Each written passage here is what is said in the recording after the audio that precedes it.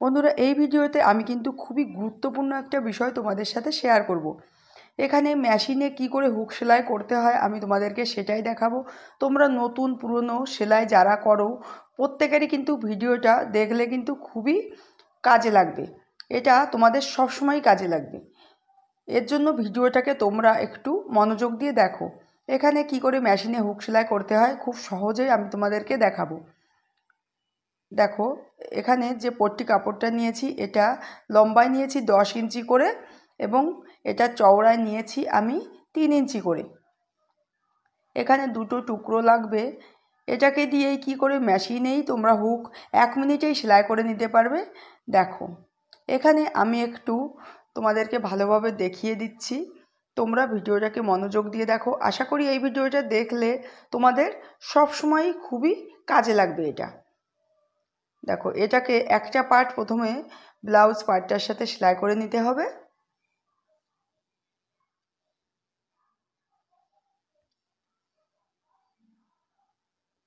দেখো, একটা পার্ট প্রথমে সেলাই করে নিলাম, তারপরে এটাকে এভাবে ঘুরিয়ে নখ দিয়ে একটু চেপে চেপে নিতে হবে। তারপরে যে আরেকটা টুকরো কেটে রেখেছিলাম, এটাকে ডবল ভাঁজ করে নিতে হবে। এইভাবে করে মাছ বরাবর ভাঁজ করে নেব।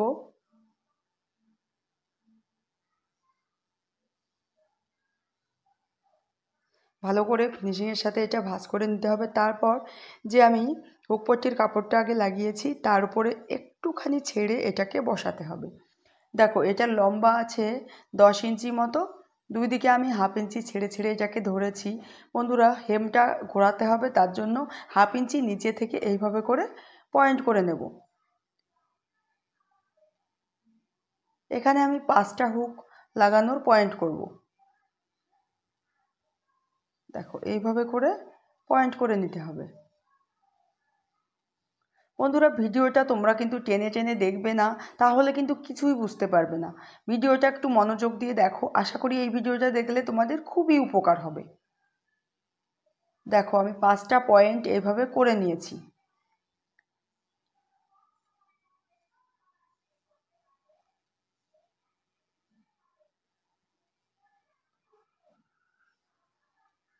তারপর এটাকে সেলাই করতে হবে।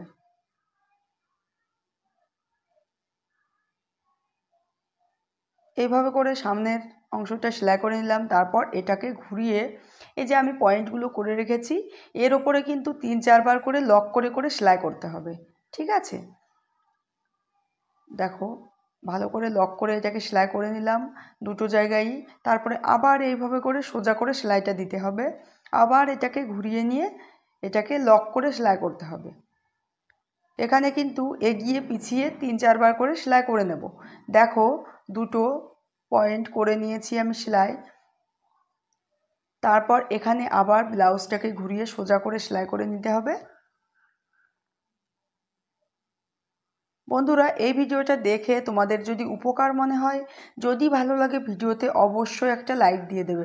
এবং চ্যানেলে যদি কেউ নতুন হয়ে থাকো, চ্যানেলটিকে সাবস্ক্রাইব করে লাল বেল আইকনটি দাবিয়ে রাখবে, তাহলে আমার ভিডিও নোটিফিকেশান সঙ্গে সঙ্গে তোমরা পেয়ে যাবে। দেখো, প্রত্যেকটা পয়েন্ট এইভাবে করে, ভালো করে লক করে সেলাই করে নিতে হবে। বন্ধুরা, তোমরা যদি এইভাবে করে ব্লাউজে হুক লাগাও, তোমরা কিন্তু খুব সহজেই এক মিনিটেই তোমরা হুকটাকে লাগিয়ে নিতে পারবে। আর এটা এত সুন্দর টাইট, মজবুত হবে, তোমরা একবার কাজটা করলেই বুঝতে পারবে। লাস্টে আমি তোমাদেরকে দেখাচ্ছি হুকটা কতটা ভালো হবে।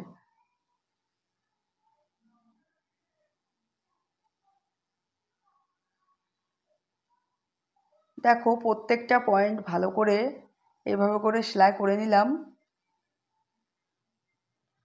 বন্ধুরা, এই ভিডিওটা দেখে কোথাও যদি বুঝতে অসুবিধা হয়, অবশ্যই তোমরা নির্দ্বিধায় কমেন্ট সেকশানে আমাকে জানাবে।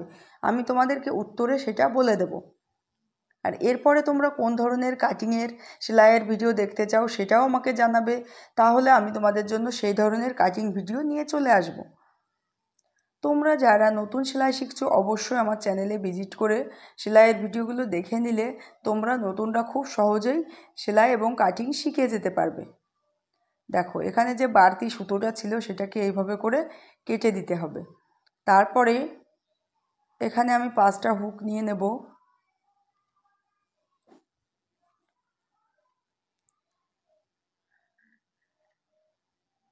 হুকের মাথাটাকে ভালো করে ধরে একটুখানি ফাঁকা করে নিতে হবে। একটুখানি ফাঁকা করে নিলাম। তারপর দেখো দুটো পার্ট যে রেখেছিলাম, এই যে মাঝখানে দেখো দুটো কিন্তু আমি অন্য কালারের সুতো দিয়ে সেলাই করে দেখালাম তোমাদের বোঝার সুবিধার্থে। দেখো অন্য কালারের সুতোটা দেখা যাচ্ছে যে মাঝখানে। এইভাবে করে হুকটাকে ঢুকিয়ে দিলেই দেখো কত সহজেই এটা সেলাই হয়ে গেল। তারপর এটাকেও এইভাবে করে ভেতর দিয়ে ঢুকিয়ে নিলাম।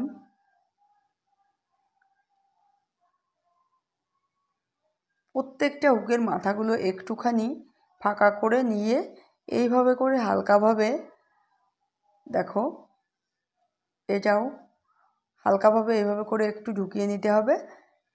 দেখো, দেখতেও কিন্তু খুবই ভালো লাগে এইভাবে মেশিনে হুক সেলাই করলে। এইভাবে করলে তোমাদের সময়ও বাঁচবে এবং কাজটাও কিন্তু খুবই মজবুত হবে।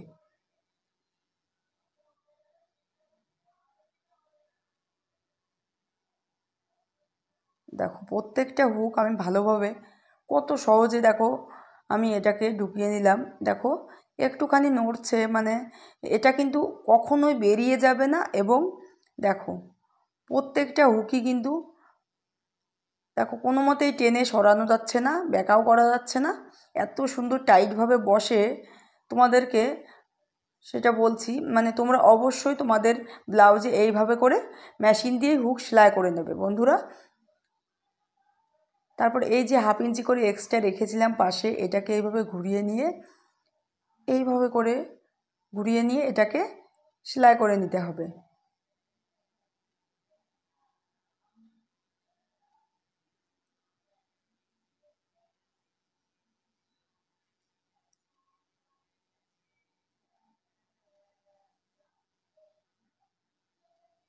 এভাবে করে ভালো করে এটাকে সেলাই করে নিতে হবে।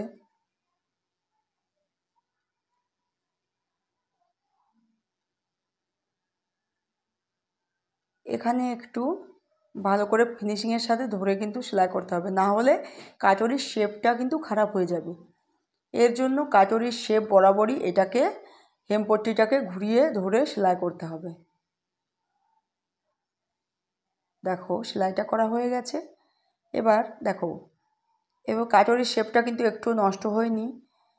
এইভাবে করে হেমটাকে ঘুরিয়ে ফিনিশিংয়ের সাথে সেলাই করে নিতে হবে। বন্ধুরা, ভিডিওটা প্রথম থেকে শেষ পর্যন্ত দেখার জন্য তোমাদেরকে অসংখ্য ধন্যবাদ। আবার দেখা হবে নেক্সট ভিডিওতে ততক্ষণ সবাই ভালো থেকো, সুস্থ থেকো। Tata bye bye